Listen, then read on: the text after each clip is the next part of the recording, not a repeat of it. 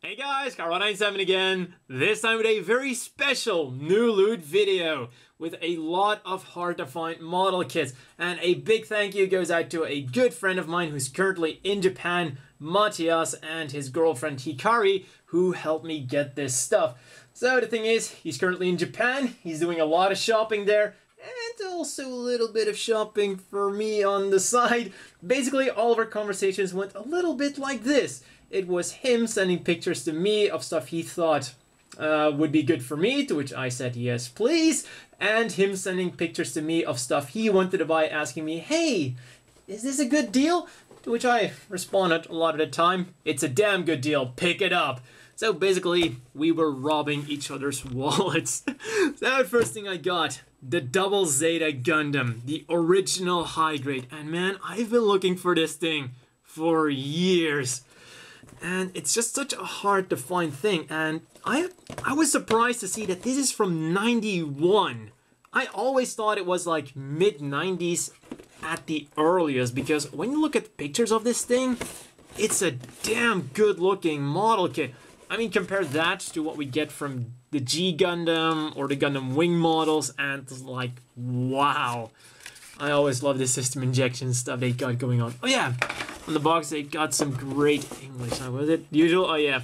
Designer Kunio Okawara. He has made another design newly for us. And, dramatic pause, Bandai has just embodied his draft in plastic models. We did every technique we could. Now his arts are coming true and moving. No, that's actually kind of foreshadowing to Gundam Build Fighters and more dramatic pauses. You know, for the time, I'm pretty sure that system injection must have been mind-blowing. You get the usual minty green plastic for what is supposed to be white. System injection. Like, man. I do wonder how these stickers have hold up because... Because, well, the thing about this is they rarely got reissued at all. So, oh, I assume... oh no, that this model could require screws, huh? Oh yeah, so it's kind of like uh, the old Char, uh, the old Char's counterattack models. But it also requires and man, that's one big beam saber.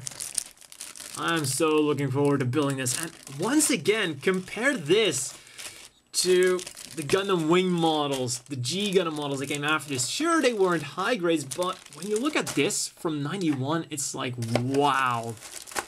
And also the manual, this has some beautiful things in it. And it's just such a shame that Bandai doesn't really reissue these kits. I also got the RX-72 the Zeta Gundam, and the Gundam R2, which is all four of them.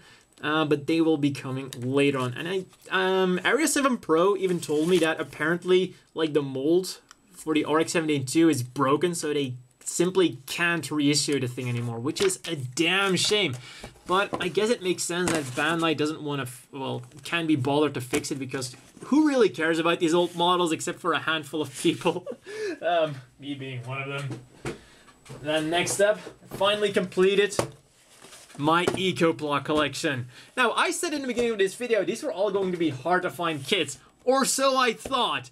The thing about these EcoPlas is, I really thought these were hard to find kits because they hardly ever appear on eBay. And aw, would have been cool if it was like a C2 black visor there. Um, so yeah, uh, Matthias went out shopping. Uh, one of the first stores he found these EcoPlas. And I was like, yes, please get them. They're hard to find. He goes to like the second store and he's sending me pictures like, hey dude, didn't you tell me these were hard to find? And I said, yeah, I honestly thought they were hard to find. He goes to the third store. He finds more EcoPla. It's like EcoPla everywhere. Like, why do they never appear on eBay if they're so easy to find in Japan? And I guess that does kind of happen with a lot of stuff. Difficult to find overseas, but pretty easy to find in Japan. And of course, the Guntank. Once again, it not molded in black? That would have been so cool.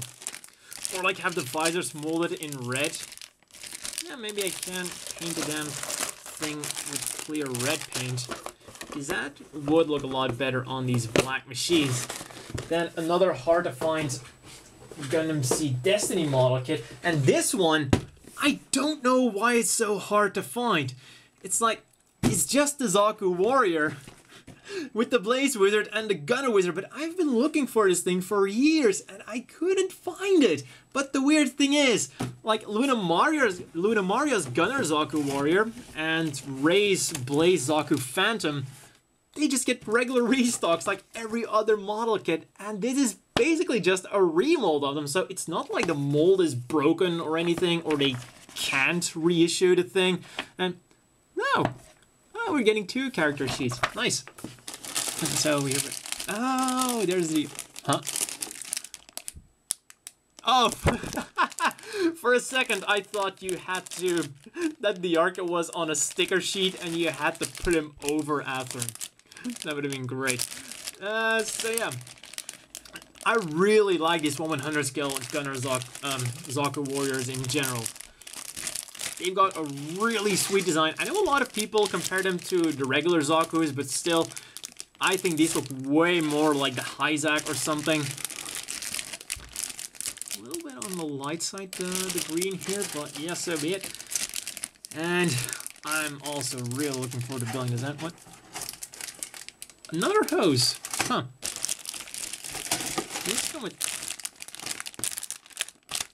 Oh, that was a wire. That makes sense.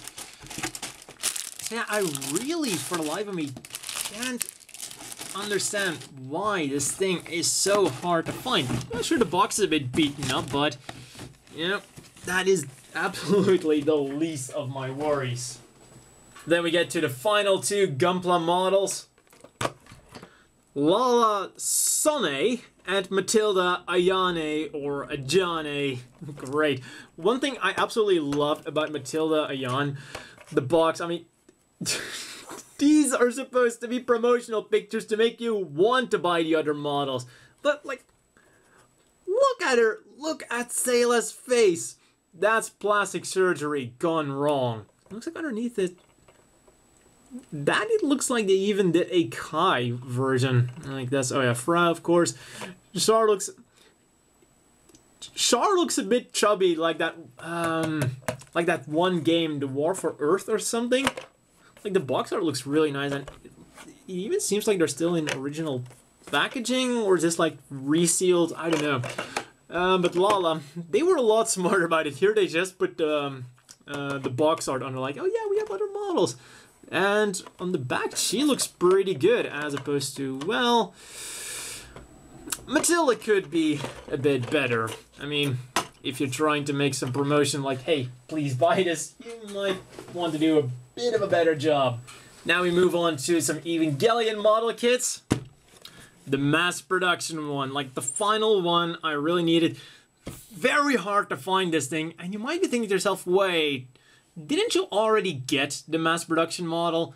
Yes, I got the regular release of the mass production model. This is the final version, which, once again, for some reason, is hard to find. The only difference between this and the regular version is that the arms of this thing are movable. And that probably sounds really stupid, but that is exactly what is different. And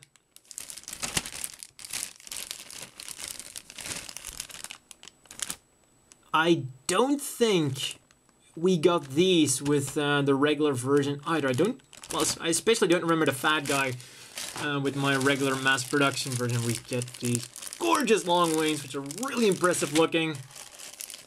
And let's see, where are the arms? And, oh, it's like a Halloween mask. ah, there are the arms. So yeah, these are the arms uh, you get with pretty much all of the Evangelion models except for like the regular release Evangelion uh, mass production type. So it's really weird that they had to make a special version like basically yeah, this is like the final production version, but this is like um, the Evangelion mass production version, the good model kit. And they're not producing that one anymore for one reason or another. And once again, this is just like a generic Evangelion arm. It's not like they don't have these molds anymore because they're still producing like the Evangelion Unit 1, all the other ones, which use the same arms. So, but yeah, super happy about getting this thing. One of those model kits, just like um, the double Zeta Gundam and those, um, and the other ones, the old high grades, didn't expect to get them, but wow. No more model kits now, but there's still more to come. An Asuka figurine because why not? It was cheap and pretty big as well. Really nice looking thing. You might not be able to really get a good look at it because it's in the box and the lighting isn't the best, but really nice looking thing. And there's still more to come because apparently video games are super cheap in Japan. So I went a bit crazy. The thing is, he sent me a lot of pictures. And so I just asked him, like, if you see some cool stuff and it's like 100 yen, super cheap, uh, send them to me. He sent me a lot of pictures. And, well, I got a lot of stuff as well. Even included a few free ones out of the goodness of his heart. Though, in all honesty, I can't quite tell anymore which ones I asked him to get and which ones he just threw in out of the goodness of his heart. Because, like, for example, I only realized it because there are two games in here that I already had. So I know I wouldn't have asked for those. And then there like a few other ones which are like the Super Robot Wars game, but let's just go over all of them one at a time. Gundam Breaker, 100 yen for the PlayStation 3. I have it for my Vita, so I thought, you know, 100 yen, you can't go wrong with this. I mean, come on. Don't you go. Another Century Episode R. I got the second one on my PlayStation 2, so I'm really looking forward to playing this thing. I don't know what this is, but it looked cool. 100 yen. Like I said, I was just going in rapid fire session. If it looked cool for 100 yen, you just can't go wrong with that kind of stuff. Um, original generations. Those are some really cool looking machines. I see a lot of Katoki designs on here. Go this thing. Uh, this one was like it's got mechs, it says Atlus at the bottom right, so you can't go wrong with this. And this, um, I feel like I've seen this before in a Super Robot Wars game. Uh, this thing, Real Robot Regiment. You can't really go too wrong with this game. It's got Zeta Gundam on the back. But I do wonder what kind of game it is because this is this kind of looks like it's a Super Robot Wars game, but then this looks more like they're actually moving around. So wonder what this is going to be about. Full Metal Alchemist. Uh, I think this one was slightly more expensive. The price isn't on here. Well, yeah, slightly more expensive. It was like uh, 300 yen. So once again, the, the funny thing about this, I thought Square Enix, Full Metal Alchemist, this game's got to be amazing. But apparently the reviews are a bit, eh. Still, 300 yen, a meh game is more than good enough. This one, I really, really like the box art. This is like something you would see on a Super Nintendo game or like a Genesis game. Really, the box art just really spoke to me. And once again, 100 yen. Can go wrong with that. Rogue Galaxy. Oh, this is one of the games where I said, um, you know what? Let's, um, uh, let's do this thing. Uh, buy me three or five random games for 100 yen that you think either look awesome or look like really crazy. This was one of the games he picked up, Rogue Galaxy. Uh, apparently really nice RPG, bit on the expensive side uh, for the European version, but the Japanese version, 100 yen. Once again, you can go wrong with that. Gundam True Odyssey, I think this was called, the stickers over it. Um, heard some mixed things about it, but once again, 100 yen. Jesus Christ. Ace, um, 100 yen. I already said what I had to say about the PlayStation 3 game. Super Robot Wars, you can never go wrong with a Super Robot Wars game for 100 yen. I mean, come on! SD Gundam Generation Neo. Uh, this one was also like 100 yen. You can't go wrong with an SD Gundam G Generation game for 100 yen. These games are so nice. Love playing um, I forgot which one it was on the DS. It wasn't the first one that was like very much like the advanced uh, version. It was like the second SD Gundam game. SD Gundam. Ah, I can't remember the name of it. Still really enjoyed playing that. This one. Um, what is this? Super Roboto Taisen. And a quick jump cut because, well, in my excitement, I kind of forgot to look at the battery life of my camera. So yeah, it's the next day, kind of forgot where I was, so let's just get going with the one that was on top. Uh, Super Robot Wars, Scramble Commander. Well, it's Super Robot Wars, it was 100 yen. It was just an automatic get. I would really love the double Zeta Gundam here standing next to the RX-78 too. And, well, even Evangelion's in there as well. This is one of the games that fit into the completely random category. I mean, uh, it's the Simple 2000. And just this cover art, man. Just look at it. Getting it out of shine there. It's a schoolgirl firing a bazooka at some random G.I. Joe guy, and there's a booby trap on the ground. It's. What? What the hell is going on here? I really don't know. And this, well, um. This is where an accident happened because I didn't realize until I started doing this video that these are all guys. I swear to God, on the picture it looked like at least half of them were girls. I mean, especially this one in the front. That one could as well have been a girl. Jeez. Uh, never mind that game. And then this one. This one I was pretty excited about because I remember back in the day when uh, YouTube was still very young, uh, seeing the cutscenes for this game, and it had like all of the important moments from Gundam Seed, like uh, redone in CG, and it was really cool to look at. Especially the Kira versus Athrun fight was done a lot better in this CG than it was done in the actual anime because, you know, until they did the remaster, it was such a shame. A lot of, uh, like, a lot of parts from the battle were just stills with thunder flashing. And one thing I do have to say is I played this for a bit. Um, in between the jump cut. and so far it seems like it's much slower than at least the one I played on my DS. So I think I'm pretty much just going to finish the seed mode on this thing and then go with uh, G Generation Neo, which looks like a much more traditional SD Gundam game. Then this one, Secret of Evangelion. Um, if I'm not mistaken, this is one of those games that like tries to make sense of the ending of Evangelion, which is why it's a secret, um, as in the secret of understanding Evangelion.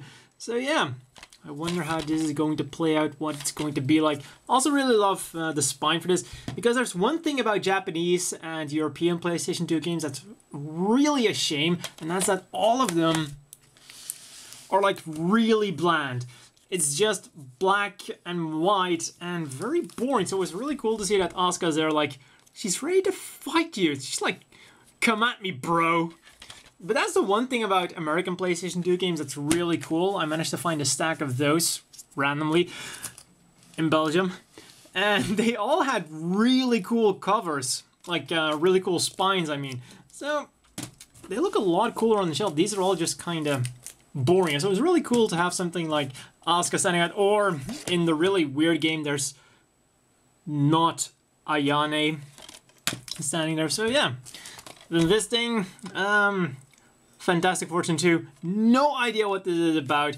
Um, 100 yen, I figured, you know, why not? And what I also really like about this is there's an included soundtrack. There's one thing I really love, and that is listening to video game soundtracks, especially if the music is really good. I have a, a huge soft spot for video game soundtracks. Now, um, I think I mentioned this before, but we did this thing where I told him, um, where I told Matthias to, you know, uh, pick up five 100 yen games, just randomly to see what kind of random stuff he would get me. And it seems like he knew me pretty well. He got me this game. Little did he know that I literally played this version of the game, this exact game, one day before he bought it for the first time. I love Gihren's Greed, one of my favorite games on the PSP. This plays very different from uh, Threat of Axis. Uh, seems like it's a lot more difficult. But yeah, um, so far I'm very much enjoying the game. yeah, unfortunately I already had it. But the thing was, I said, you know, just grab random games for 100 yen at the very least, I'm going to get a cool story out of it. I had a laugh with him about it, and I'm right now having a laugh with you guys about it. So, 100 yen, well spent. I had a story to tell. And he also threw in, like, I, I think I also said this again, man. Having that jump cut in between is probably not the best thing for my memory right now. Um, so yeah, I'm pretty sure he threw in uh, a few free games because these two games I also have. Um, Ace 2 is one of those games I also randomly picked up because, well, I was looking for some more Japanese PlayStation 2 games, and Ace 2, well, I mean, look at the cover art. It was like the perfect game to get. And then Encountered in Space. Oh my god, Encountered in Space. This was one of the first games I got when I got my Japanese PlayStation 2. I mean, it's one of the games that really made me want to buy a PlayStation 2 once I kind of figured out that Encounter in Space was a really fun game, because the funny thing about Encounter in Space is I played, well, in Europe we only had like one real Gundam game for the PlayStation 2 other than the Dynasty Wars game, and that was Gundam Federation versus Zeon. And in Federation versus Zeon, space battles were kind of eh, not that much fun. So when I saw that there was a game called Encounters in Space and I read it was entirely space combat, I was like, no way in hell I want this game. This game is going to be horrible because I thought it was going to be Federation in Space, but only the space levels. But really, having played this, it's an amazing, really fun, fast-paced combat game. Um, so yeah, maybe, Matthias, if you're watching this, um, if, if, if you got yourself a PlayStation 2, and you need a great game to play, I'll give this back to you. And this as well, because these are awesome games, and you should play them. I know you're watching this. Play this game. I know you're going to get a Japanese PlayStation 2. I'm going to make you play this thing. Talking about things he threw in, he also threw in this figure of Evangelion Unit 1. And it's a very nice looking thing. One thing I really love about this is the stand is like way too complex for just a stationary figure. This is like a miniature action figure base. It's like um a smaller version of the Figma stands we get. So it's like way over designed for just a figure that's supposed to stand completely still. And I mean, this could actually be useful for like a smaller action figure. Uh, the one thing about this is that it seems like one of the rods has gone missing. I don't know if maybe it went um, somewhere in the box, but you know, I've got a quick ad hoc solution for that, and this is um, close enough. Then for some more stuff included.